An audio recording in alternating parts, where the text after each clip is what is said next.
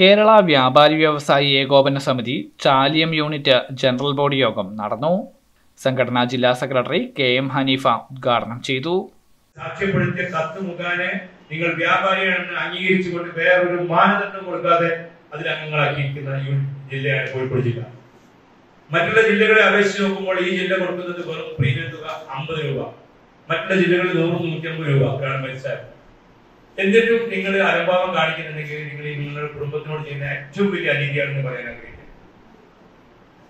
അപ്പൊ എന്നാലും ഇന്ന് മുതൽ തന്നെ നിങ്ങളുടെ ആപ്പ് ഇൻസ്റ്റാൾ ചെയ്യുക ചെയ്യാത്ത ആൾക്കാരെ ഇൻസ്റ്റാൾ ചെയ്യുക ചെയ്ത ആളുണ്ടെങ്കിൽ നിങ്ങളുടെ ബാലൻസ് നോക്കുക. മൂന്ന് ഓപ്ഷൻ അതിലുണ്ട്.